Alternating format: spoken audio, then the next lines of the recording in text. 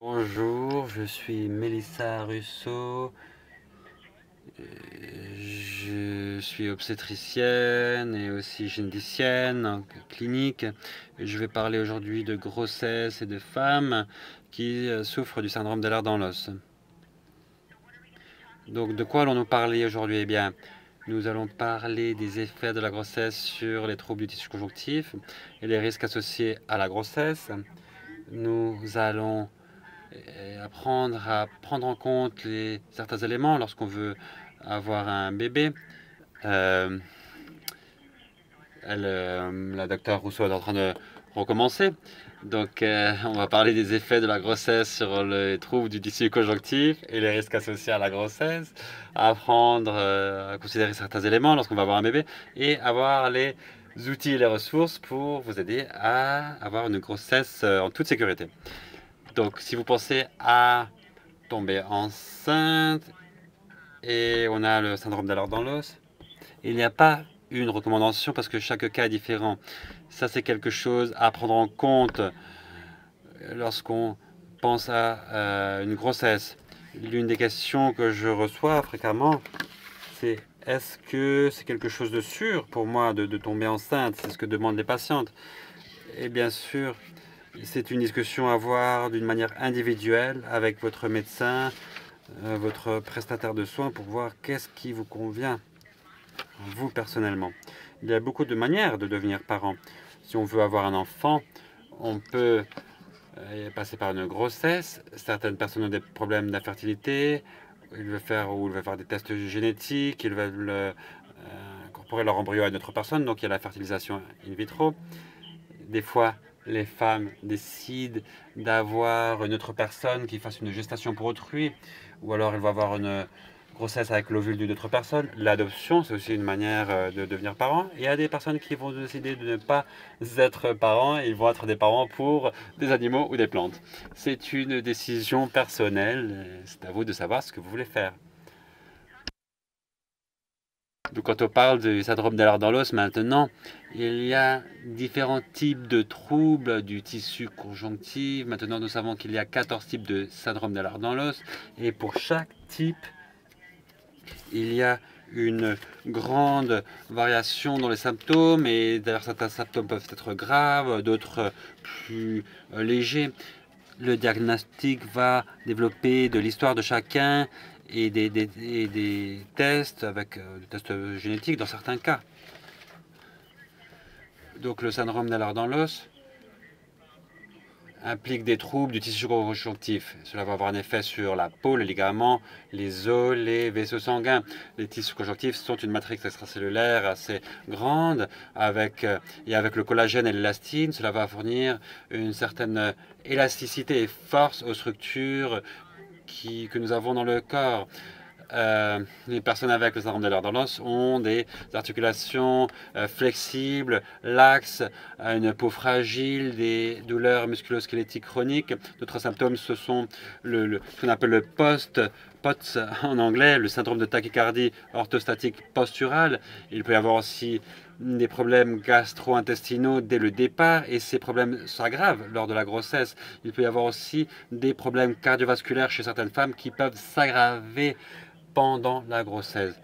Ce qu'on voit le, souvent, c'est le prolapsus de la valve mitrale, des anévrismes, euh, anévrismes aortiques, une dissection aortique ou une dilatation de la racine aortique. Donc, pourquoi est-ce que la grossesse est un moment à fort risque? Pour les patients de SED Nous allons en parler maintenant. Il y a des changements dans le système cardiovasculaire. Il peut y avoir des changements dans la fréquence cardiaque, dans le euh, débit systolique. Il y a des changements hormonaux pendant la grossesse, les niveaux de progestérone et d'estrogène qui vont augmenter. Notre euh, hormone qui va augmenter, c'est la relaxine qui, donne une certaine euh, élasticité aux membres. C'est pour euh, le, moment de l'accouchement, mais bien sûr pour le canal génital, mais c'est bien sûr un problème pour les patientes qui ont déjà des problèmes de laxitude. Il y a des fois une moindre motilité digestif, gastro-intestinal euh, et des problèmes aussi de remontée gastrique dans l'œsophage. On peut avoir des problèmes d'estomac aussi qui vont être aggravés pendant la grossesse. En outre, en bas à droite, vous pouvez voir que le centre de gravité change. Euh, ça peut changer l'équilibre des personnes et les femmes qui ont euh, des douleurs, une certaine fragilité dans certains organes, cela va aussi changer pendant la grossesse et c'est quelque chose qu'il faut prendre en compte, bien sûr. Donc avant de parler de la grossesse, il faut parler aussi de l'infertilité. Lorsqu'on ne peut pas avoir d'enfants, la grossesse n'est pas possible. Donc si on a essayé d'avoir des enfants pendant un an, on n'a pas réussi, souvent les femmes à ce moment-là, elles vont aller voir un spécialiste en reproduction pour les aider à avoir des enfants, pour traiter les causes de cette infertilité.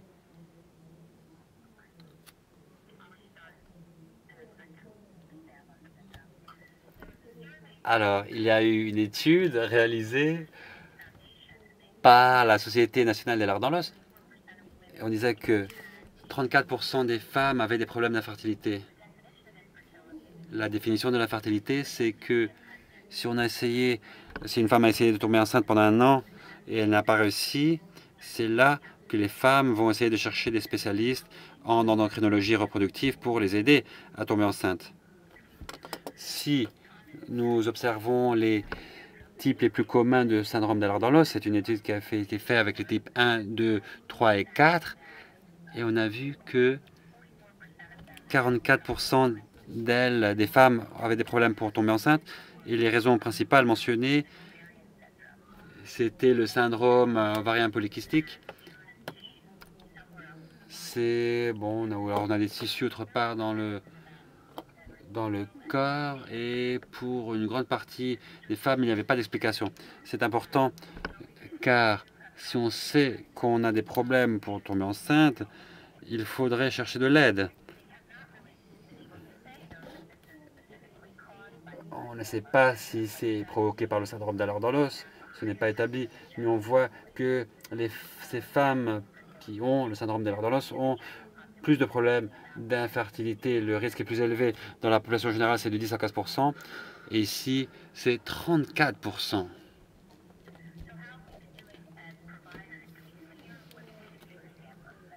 Comment on essaie d'aider les, femmes qui ont le syndrome de l'air dans l'os? Alors, dans cette même étude, il a été demandé aux femmes si le personnel soignant leur avait déjà dit de ne pas avoir d'enfants en raison de leur syndrome de l'air dans l'os. Et 33% des femmes ont dit, 23% des femmes ont, euh, ont, dit que le médecin avait recommandé de ne pas avoir d'enfants. et pour les femmes qui ont le CED vasculaire, c'était 63% des cas où le médecin leur avait dit que c'était mieux de ne pas avoir d'enfants. Des fois, les prestataires de soins entendent parler du syndrome d'Ehlers dans l'os et soit des fois, il ne faut pas attention peu importe, ou alors ils prennent trop de précautions et leur disent directement de ne pas avoir d'enfants. Encore une fois, je pense que c'est vraiment une discussion qu'il faut avoir à niveau personnel, à titre personnel. Ça dépend vraiment des cas. On peut avoir bien sûr des grossesses qui se passent très bien. Ça, c'est le graphique en bas à droite. Alors, je vous ai en parler parce que on parle souvent des différentes manières qu'ont les gens pour devenir parents. Il semble que dans cette étude, beaucoup de prestataires de soins ne parlent pas des autres options. Ils ne parlent que de la grossesse, euh, de la femme qui tombe enceinte. Mais si on a dit qu'il ne faudrait pas avoir de grossesse parce qu'il y a un risque élevé, et bien sûr, il faut s'assurer que ce soit correct. Et si c'est le cas, eh bien, il y a beaucoup d'autres options qui sont disponibles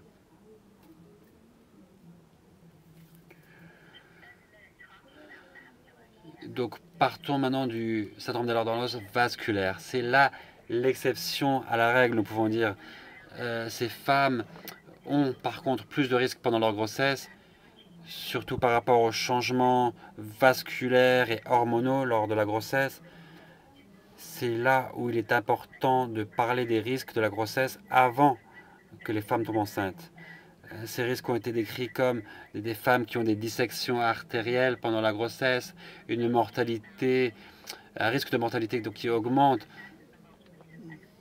On, a dit euh, récemment c'était de, 10 à 15% euh, Il y a des accouchements prématurés, aussi une rupture des membranes, une rupture utérine, une rupture des organes creux, intestin, foie, rate. Et nous savons qu'il y a une étude où ils ont observé des femmes qui ont une grossesse et euh, avec le syndrome de l'art dans l'os. Euh, donc oui, bon, elles peuvent avoir la grossesse, c'est sûr. Il n'y a pas une différence énorme, mais il faut faire attention, nous le savons. Partons, parlons des autres types également de de syndrome de dans l'os. Nous n'avons pas beaucoup d'informations sur les types les plus rares. Nous avons dit qu'il y a 13 types de dans l'os, mais pour les types Colbin 1, 2, 3 et 4, nous savons que les risques ont trait à l'accouchement prématuré ou la rupture des membranes de manière prématurée, la rupture des os, par exemple. Euh, ça arrive à 20%. Et il y a aussi le risque que, le bébé a la même maladie.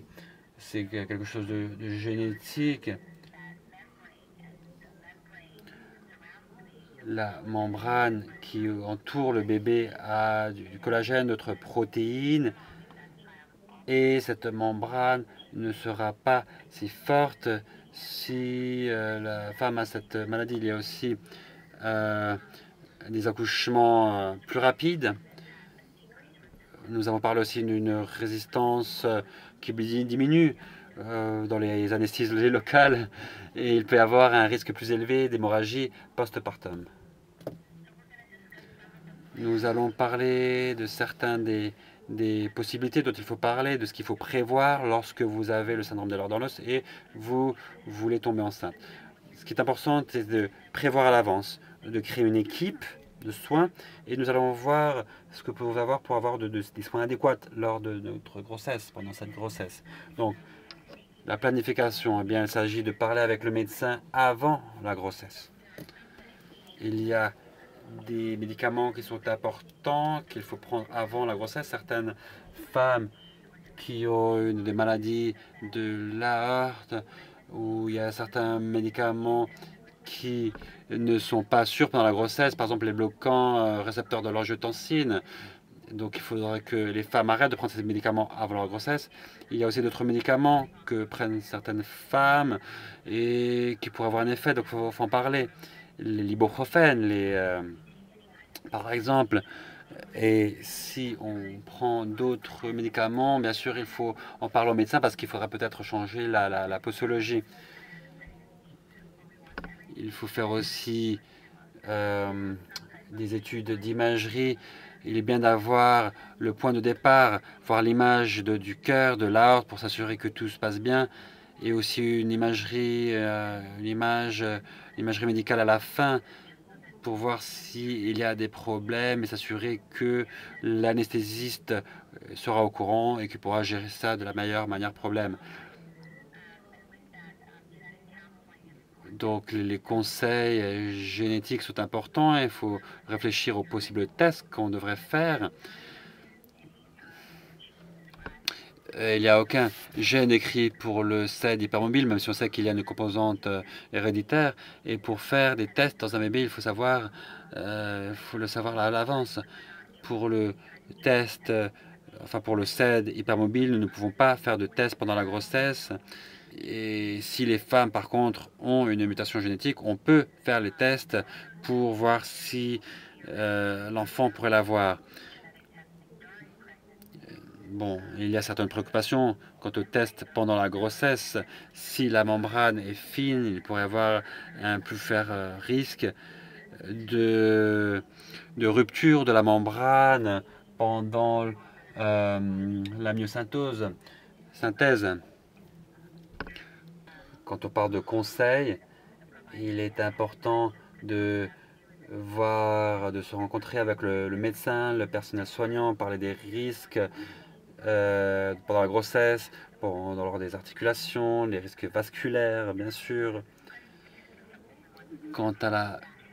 Si on n'essaie pas de tomber enceinte, il faut parler aussi des options euh, contraceptives avec le personnel soignant. Donc il y a toute une équipe qui prend soin des, femmes qui ont le syndrome de l'ordonnance pendant la grossesse. Donc on va avoir souvent un spécialiste euh, obstétricien, un anesthésiste pour vous voir aussi à l'avance.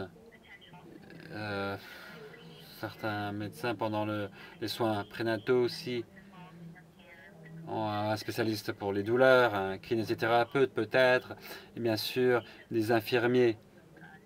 Il y a aussi les femmes qui ont des problèmes cardiovasculaires, eh bien, pour le SED vasculaire par exemple, il faudrait avoir un, médecin, un médecin euh, cardiovasculaire qui, euh, qui puisse intervenir. Donc, que pouvons-nous faire pendant la grossesse pour les femmes qui ont le syndrome de dans l'os? Eh bien, il faut surtout protéger les articulations, euh, que les articulations soient dans bon état. donc, c'est vrai qu'il y a, on parlait de l'hormone de la relaxine, pour relâcher les articulations, pour, pour l'accouchement. Mais c'est quelque chose qui va euh, relâcher les articulations. il faut faire attention. Euh, je parle de l'importance de la kinésithérapie, de faire des exercices avec un kiné et comprendre vraiment ce que c'est le syndrome d'Alordolose pour renforcer les articulations d'une manière douce avec certains exercices pour, pour avoir vraiment de bonnes articulations pendant la grossesse. Il y a aussi euh, différentes ceintures de grossesse, des, corsets qui peuvent nous aider pour... Euh, nous avons aussi l'articulation du plancher pelvien qui peut créer, provoquer des douleurs chez certaines femmes. Il faut faire attention à cela également. Avec les articulations, il est important de travailler donc avec un kinésithérapeute pour, pour ces ceintures de grossesse, comme on parlait. Aussi, la manière de dépasser est importante ça prend du temps de se mettre debout et il faut se rendre compte pendant la grossesse que les, les gens, les, pardon, les articulations sont moins flexibles qu'au départ. Et il faut faire attention lorsqu'on change de position, de ne pas se déplacer trop rapidement et ne, pas passer par une luxation, bien sûr. Certaines femmes ont des problèmes avec le syndrome de tachycardie orthostatique posturale là, c'est quand on voit que si on se lève d'un coup, on peut être un peu étourdi et une augmentation de la fréquence cardiaque. C'est quelque chose qui peut être diagnostiqué avec un cardiologue. Et ce qui est important, c'est de bien s'hydrater pendant la grossesse. Donc des bons apports de d'eau, de sel, de minéraux. Euh, on peut avoir aussi des fois des bas de, de compression pour aider à la, circulation. Et des fois, on a besoin de médicaments qui peuvent être utilisés. Euh, ce qui est le plus utile de pendant la grossesse, c'est les euh, bloqueurs bêta et la midrodrine. Les femmes qui ont eu des complications vasculaires ou dans la heart, là aussi, il faut avoir un blocage bêta pendant la grossesse pour agir sur les, parois, euh, les vaisseaux sanguins il est peut-être bon d'avoir un échocardiogramme pour voir euh, la horte, un IRM, ça peut être intéressant aussi pour voir euh, comment est l'appareil vasculaire. Cela dépend aussi de la gravité des maladies, mais bon, souvent, c'est souvent, euh, il faut le faire tous les trimestres. En tout cas, hein, pendant la grossesse. Pour gérer les douleurs, c'est vrai que beaucoup de femmes euh, ont des, douleurs euh, chroniques. C'est quelque chose qu'il faut traiter d'une manière personnalisée. On peut avoir des opioïdes pour gérer la douleur.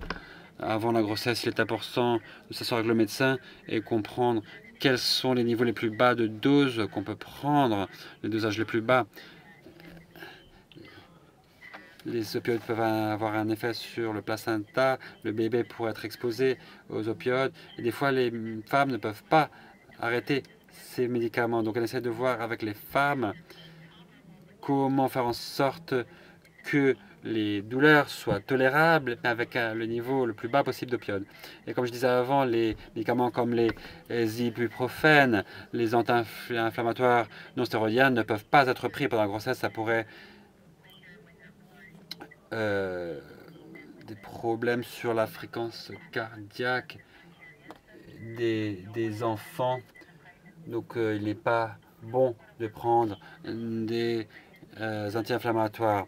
Il faut travailler avec l'aspect de la douleur pendant la, la grossesse. C'est vrai que a beaucoup de femmes qui, qui, ont une grossesse douloureuse. Et avec le SAD hypermobile, on a vu que beaucoup de femmes avaient des symptômes qui s'aggravaient pendant la grossesse ou aussi après l'accouchement. Il est donc important de travailler euh, sur le contrôle de la douleur pendant la grossesse. Il y a aussi des médecines alternatives, euh, des médecines alternatives peut-être utilisées en plus comme complément, bien sûr, toujours comme complément, l'acupuncture, les massages, le yoga, ou des séances de kinésithérapie, euh, des séances de pilates également qui peuvent nous aider. L'anesthésiologue est une personne très importante pendant la grossesse. On disait qu'avant la grossesse, il est bon de faire, euh, euh, je sais pas, un IRM par exemple, enfin des imageries médicales pour voir s'il y a des scolioses ou alors une ectasie durale, nous ne le savons pas. Et le problème, c'est que si on prend, si on veut une épidurale ou les anesthésies, les, euh, les épidurales ne fonctionnent pas toujours bien. Il peut y avoir aussi des problèmes vasculaires. Et c'est quelque chose qu'il faut prendre en compte pendant l'anesthésie. Avec une anesthésie locale, pourquoi est-ce que c'est important Bien, tout le monde ne doit pas avoir une épidurale, ce n'est pas toujours nécessaire, mais chez les femmes qui ont des problèmes de cardiovasculaire, une dilatation euh, de l'aorte, il faut savoir qu'il peut y avoir une augmentation de la pression artérielle, de la fréquence euh, cardiaque pendant la grossesse, et c'est un problème sur le, un effet sur le système vasculaire.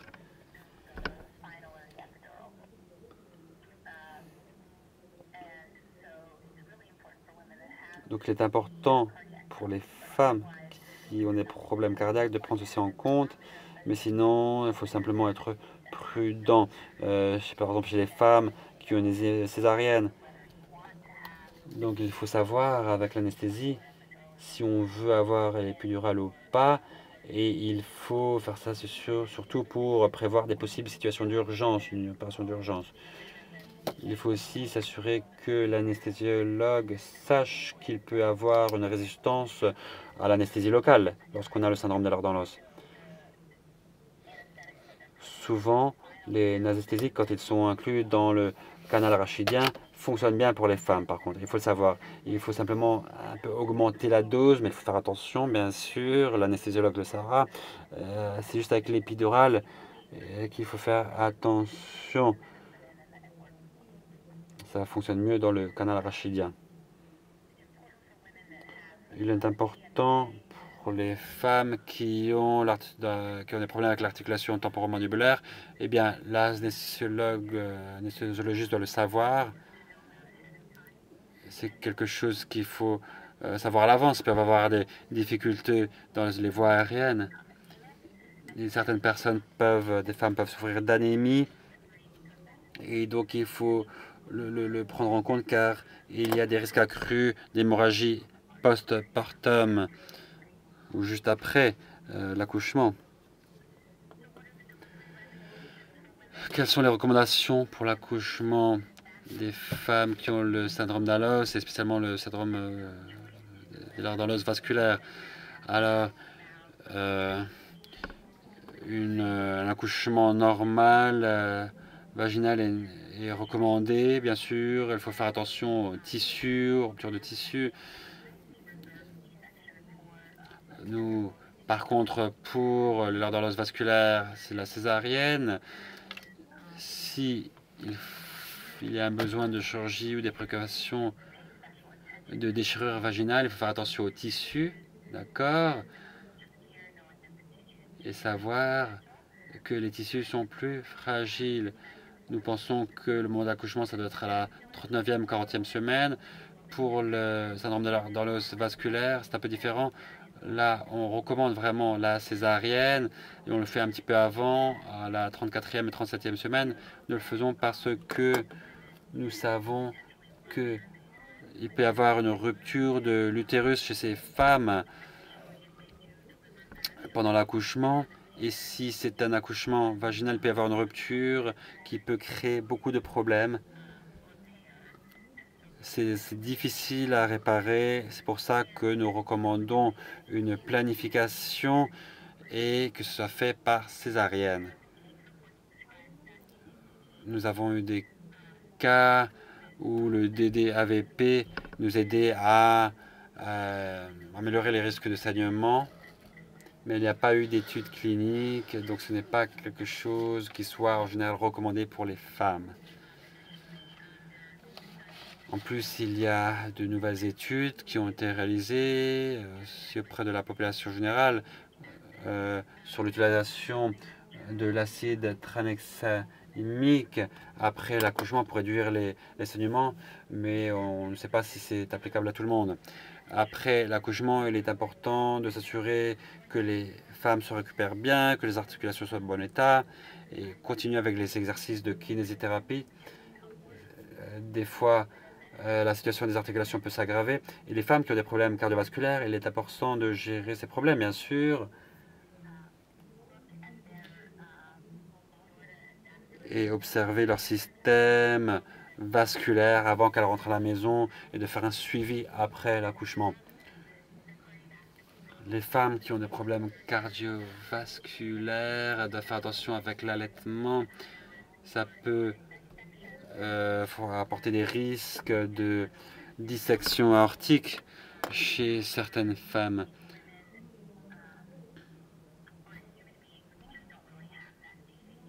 Nous même si nous n'avons pas assez de données. Euh, on ne peut pas, euh, certains, c'est vrai qu'il faut faire attention euh, si vous avez le syndrome dans l'os vasculaire, il faudra faire un suivi pendant la période d'allaitement. Pour résumer, c'est vrai que j'ai parlé de différents problèmes, comme l'accouchement prématuré, des problèmes articulaires, mais je peux vous dire, j'ai vraiment suivi beaucoup de femmes euh, qui ont le syndrome de l'ordre l'os, et la plupart d'entre elles peuvent avoir vraiment une grossesse qui se passe très bien, une très bonne grossesse. C'est important d'avoir un médecin vous fait confiance, un médecin qui travaille avec vous pour euh, avoir une bonne grossesse. En résumé, ce dont je veux parler, c'est qu'il faut bien planifier les choses, voir si votre obstétricien, voir votre obstétricien ou votre sage-femme avant la grossesse, d'avoir un bon plan avant la grossesse, d'avoir une équipe médicale qui puisse travailler avec vous, que tout le monde vous aide à avoir une bonne expérience lors de cette grossesse, assurer que vous recevez des soins pendant toute cette grossesse. Je pense qu'il y a de très bonnes ressources euh, chez la Société d'Alert qui sont disponibles à tout le monde. Je pense que vous le savez euh, déjà euh, grâce à leur fondation. Je veux le remercier pour m'avoir permis de faire cette présentation. Je laisse mon email ici en haut. Évidemment, si vous avez des questions, n'hésitez pas. Je veux aussi répondre à vos questions pendant la séance de questions-réponses. Et, voilà, donc si vous avez des questions après cela, vous avez mon adresse email, n'hésitez pas. Merci pour cette opportunité. J'espère que la suite de la conférence se passera très bien et que vous allez tous très bien.